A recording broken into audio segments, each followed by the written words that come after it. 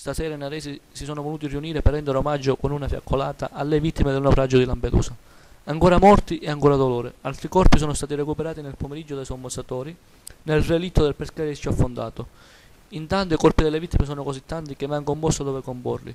Gli ultimi recuperati sono stati deposti dentro due camioni frigoriferi.